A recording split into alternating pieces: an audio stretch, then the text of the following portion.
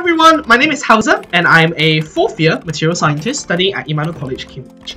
Um, hopefully, by the end of this video, I am able to give insight into what it's like living in Cambridge as a student. So, what is material science? So, material science is one of the modules you get to choose if you study natural sciences, uh, where you study how the properties of the material relates to the processing of the material and also its microstructure and also discovery of other materials that might be used in engineering applications. So you learn things like designing an LED or making a new turbine blade for a jet. So how did you pick your college? Um, when I was thinking about picking my college, I thought about three things. I was thinking about the location of the college, I was thinking about what the vibe of the college was like, and I was also thinking about what facilities the college had. So Emmanuel College is very central. It's very good. It's close to most of the departments. It's quite next to quite a bit of the uh, shopping areas.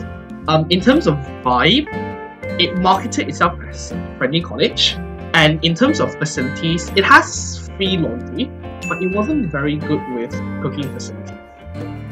And most people don't have an oven for their undergraduate life. I felt that the vibe of the college was most important to me um, I want to live somewhere where I knew most of the people, where everyone was really friendly, and so I chose Emmanuel. Um, so I encourage people who are choosing colleges to look at what they really want out of whether is it education, whether is it facilities, or the general vibe.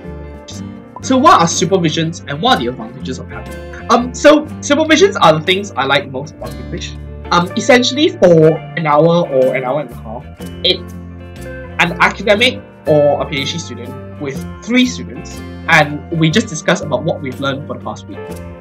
So I found it really helpful because the biggest advantage you have is you ensure that your questions are always answered in the supervised. Um, this is quite difficult to do at other universities.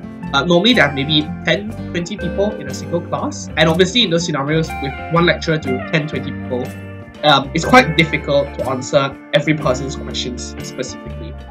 Uh, but in Cambridge, when you have this supervision system, it's you and two other students. So a lot of the supervisor's focus is on you, and so you get your uh, questions answered very well.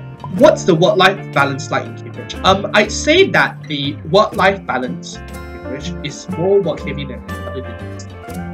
Um, that's to be expected um, we have shorter terms than most other universities, so for the same amount of content, we have to learn it faster.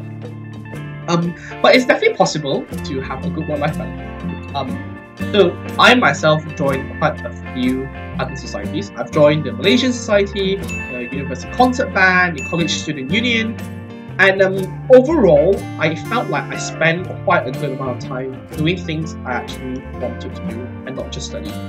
Um, Obviously, it's a little difficult. You will need to juggle your time quite a bit, and then you need to learn how to start saying no to things you don't feel like it's a good use of your time.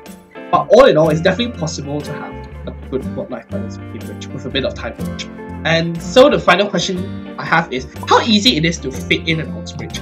Um, for me, fitting in at Oxbridge didn't have any extra barriers on top of that that you normally have as an international student. Um, so naturally, coming from a Malaysian background to a UK university, there will be a bit of a culture shock. The food is different, the people, the things that people talk about are different. The political background, the in jokes that the Malaysian, that we Malaysians might share, the things we enjoy will all be slightly different. Um, so there'll always be a bit of a barrier to start with. But eventually, I got quite comfortable with my friends, and I didn't feel like there were any extra barriers that I faced. Um, there's a bit of a myth that Cambridge is full of rich and snobby people and quite hard to fit in the upper class.